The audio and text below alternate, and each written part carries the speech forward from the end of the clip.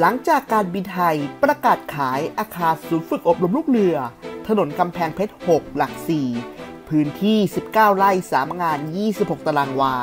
เพื่อนำเงินไปดอเลี้ยงองค์กร ระหว่างทำแผนฟื้นฟูกิจการ โดยมีผู้สนใจซื้อเอกสารประมูลหรือ TOR มากถึง 52 ราย ในที่สุดบริษัท Energy Complex จำกัดหรือ ENCO ได้รับคัดเลือกเป็นผู้ชนะประมูล ด้วยราคา 1,810 ล้านบาท เหตุผลที่การบินไทยขายตึกครั้งนี้ เนื่องจากปัจจุบัน ฐานการบินของการบินไทยตั้งอยู่ที่สนามบินสุวรรณภูมิ อาคารนี้เดิมเป็นศูนย์ปฏิบัติการการบินไทยหรือ OPC แต่หลังย้ายสนามบินในปี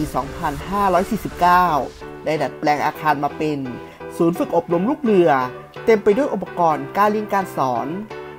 มีคนสงสัยว่าบริษัท Energy Complex มาจากไหนสำหรับ Enco เป็นบริษัทร่วมทุน ระหว่างปตท กับปตทสพพัฒนาตึกบนพื้นที่ 29 ไร่ ย่านพหลโยธิน ถนนวิภาวดีรังสิต เพื่อใช้เป็นสำนักงานให้เช่าสำหรับ 16 บริษัทในกลุ่มปตท รวมทั้งกระทรวงพลังงาน และบริษัทในกลุ่มธุรกิจพลังงาน มีทั้งหมด 3 อาคาร สูง 36 ชั้น 25 ชั้น และตรงกลาง 8 ชั้น ใช้เงินลงทุนราว 9,000 ล้านบาท ก่อสร้างเสร็จปลายปี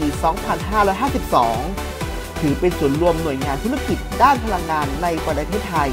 มุ่งหวังที่จะให้ที่นี่ เป็นอาคารต้นแบบอนุรักษ์พลังงาน นอกจากนี้ยังมีห้องประชุม ธนาคาร ร้านค้า ร้านอาหาร ศูนย์อาหาร และศูนย์ออกกำลังกาย ตั้งอยู่ภายในอาคาร เหตุผลที่ปตทเข้าร่วมประมูลอาคารหลักสี่ของการบินไทย CEO ระบุว่า เพื่อรองรับการขยายตัวทางธุรกิจของกลุ่มปตท โดยจะใช้เงินทุนหมุนเวียนของ ENCO ร่วมกับเงินกู้ระยะยาว แม้อาคารศูนย์ฝึกอบรมลูกเรือการบินไทยกลายเป็นตำนาน แต่ถือว่า มีกลุ่มทุนบริษัทพลังงานแห่งชาติเข้ามาชุบชีวิต จากอาคารที่ปล่อยร้างเพราะพิษโควิด -19 ให้มีชีวิตชีวา